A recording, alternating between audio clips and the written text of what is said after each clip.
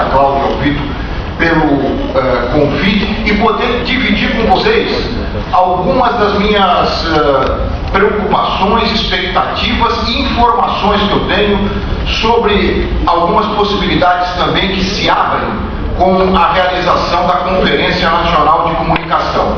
Mas eu queria começar uh, pegando dois ganchos é, que eu consegui captar da mesa anterior. Foi bom ter chegado cedo, talvez não tenha sido tão ruim ter atrasado a mesa, porque eu é, pude vir é, ver os companheiros, ouvir os companheiros e pegar dois ganchos dele. Esse país é um país realmente é, sui generis, né? É, é um país em que as, não, é um país que é, não se marca apenas pelas desigualdades sociais, mas as desigualdades regionais, ou as diferenças, ou melhor, regionais, são tão significativas, são tão importantes, que não podem ser deixadas de lado numa discussão de comunicação como essa.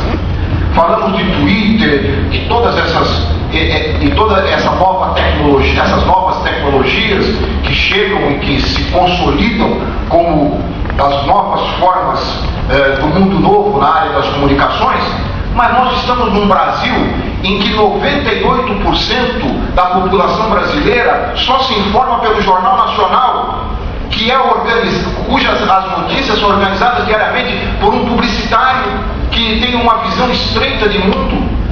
O país, o país se informa por esse, por esse jornal todo dia, 98% da população.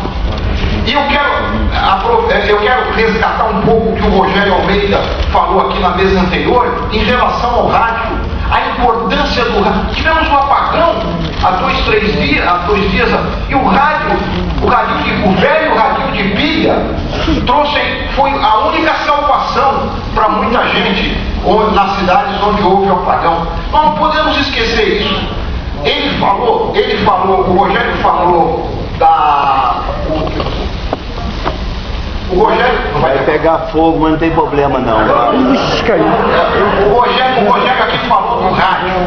E eu, na minha uh, atuação recente como ouvidor da empresa Brasil de Comunicação, que tem sob sua responsabilidade não apenas a TV Brasil, mas oito emissoras de rádio, entre elas a gloriosa Rádio Nacional do Rio de Janeiro, mas tem também a Rádio Nacional da Amazônia, que tem uma audiência brutal e presta um serviço público essencial e só ela pode prestar esse serviço público.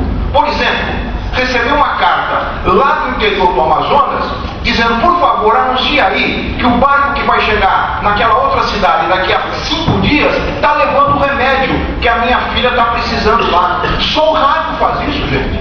Só o rádio pode fazer isso nesse Brasil do Twitter, nesse Brasil dessa tecnologia de ponta.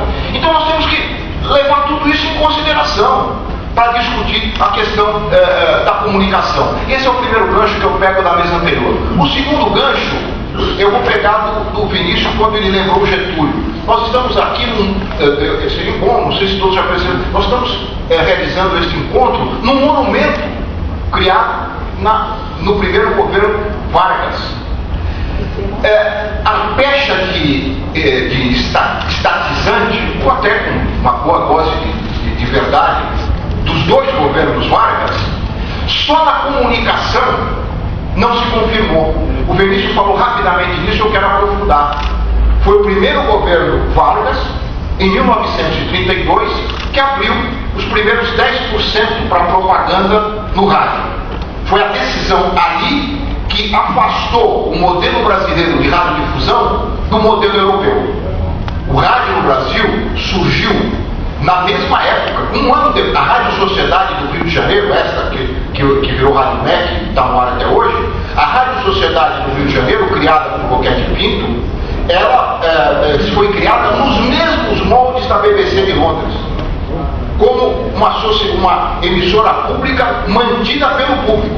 A BBC, 80 e tantos anos depois, permanece operando da mesma forma, ela é mantida única e exclusivamente com a taxa paga por aqueles que possuem um aparelho de rádio ou TV em casa para se desvincular tanto do poder do Estado como do poder comercial, enquanto no Brasil, no primeiro governo Vargas, o Getúlio resolveu estabelecer com aqueles que, ah, com que tinham expectativa do alto negócio que já se previa ser a, rádio, a radiodifusão e estabeleceu com eles uma sábia negociação. Ou seja, eu, eu dou a concessão, eu concedo, eu, eu, o Estado outorga a concessão e vocês podem ganhar dinheiro. Quer dizer, mas vocês vão ganhar dinheiro desde que cumpram determinadas regras estabelecidas nessa concessão.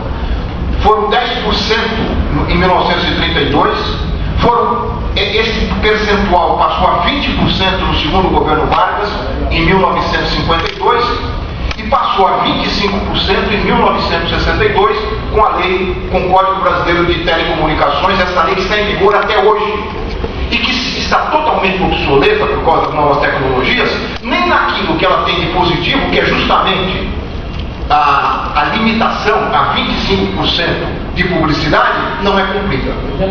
Nós temos canais que não, tem canais que têm 100%. Os canais de venda funcionam da lei no Brasil, porque vendem fazem e os, e os, e os religiosos, eu tenho cá minhas dúvidas, também se não são ao review da lei, porque o espaço foi otorgado para a divulgação de um certo tipo de programação e não para ser vendido, é, é, ser vendido para outros interessados, ser repassado para outros interessados. Na, na verdade, essas emissoras que está, que tem programação religiosa estão também vendendo para igrejas, estão também ao review da lei porque, não, porque ultrapassam os 25% que a lei estabelece como limite para a publicidade no rádio e na televisão.